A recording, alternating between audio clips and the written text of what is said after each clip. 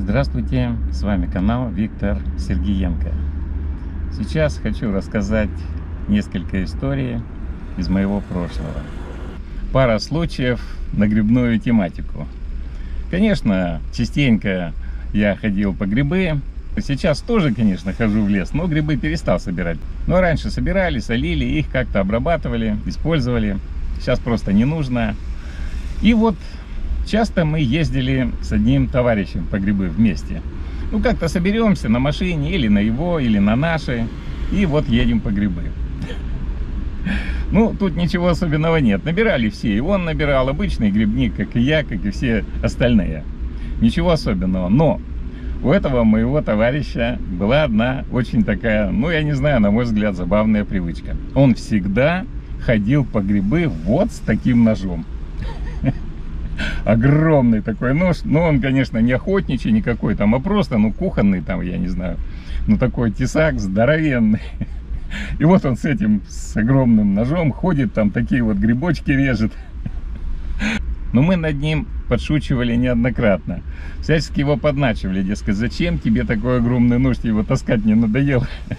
Но он тяжелый и неудобный, и все такое. А вот нет, мне, говорит, удобно, мне, говорит, удобно. И вот он ходит, какие-нибудь маслята режет вот таким вот ножищем. И, собственно, на этом и все. Ну, как-то один раз мы еще и на рыбалку с ним ездили. Поехали, и я все-таки сказал, ну слушай, ну зачем ты таскаешь с собой этот нож? Ну, может быть, ты как-то для самообороны, что ли, думаешь, как-то в лесу что-нибудь? Ну, всякое бывает. Может, какие-то у тебя такие мысли или еще что-то. Да ну, говорит, ерунда какая, о чем ты говоришь? Кого в лесу бояться? Ну, действительно, в лесу бояться нечего. Надо в городе вот бояться. Лучше кого-нибудь, если уж бояться. Я говорю, ну скажи уж по-честному, уж по секрету. Никому не скажу. Почему ты таскаешься с этим ножом?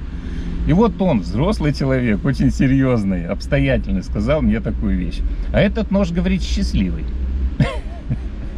Я, говорит, как с ним иду по грибы, так нахожу грибы. Как беру другой, пробовал неоднократно, так ничего найти не могу. Я говорю, да ну не может быть такого. Ну вот веришь, нет, тут я говорю, ты у меня спросил, я тебе ответил. Отвечаю по-серьезному.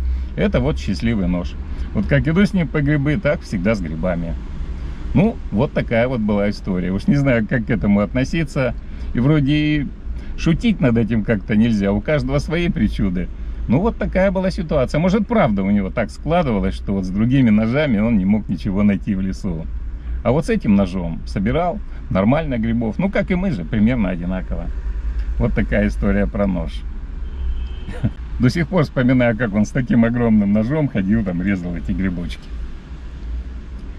Еще один случай про грибы. Собрались мы как-то за грибами прямо на даче. Приехала компания, ну, мы там отдохнули, там в баньку сходили. Дня на два, по-моему, приезжали там друзья. И пошли в лес за грибами. И вот нас было несколько человек. Это было несколько спонтанно. И одному не хватило ножика.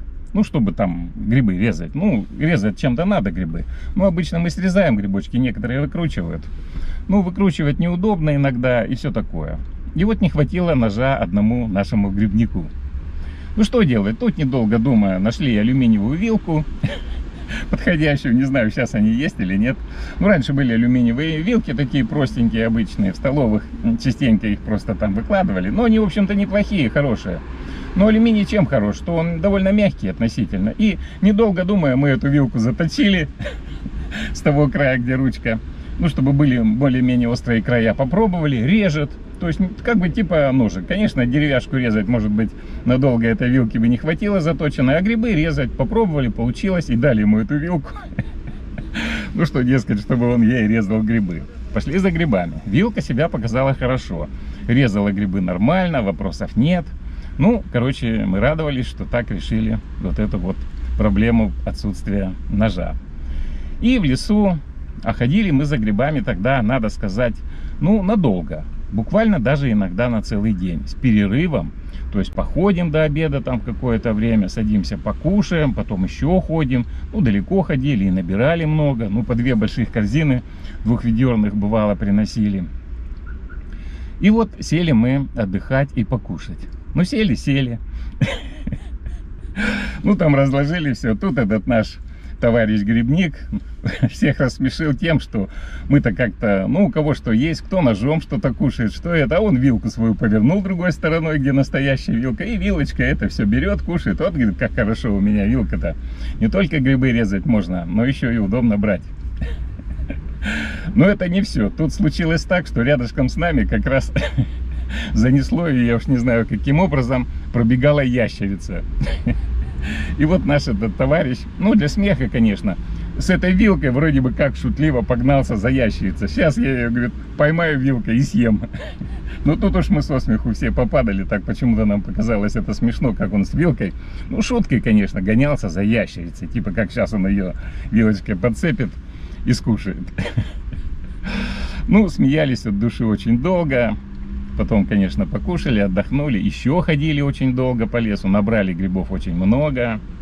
Так что и вот эта вилка одновременно с ножом, сделанная самодельно, сослужила добрую службу. Вот такие были интересные случаи.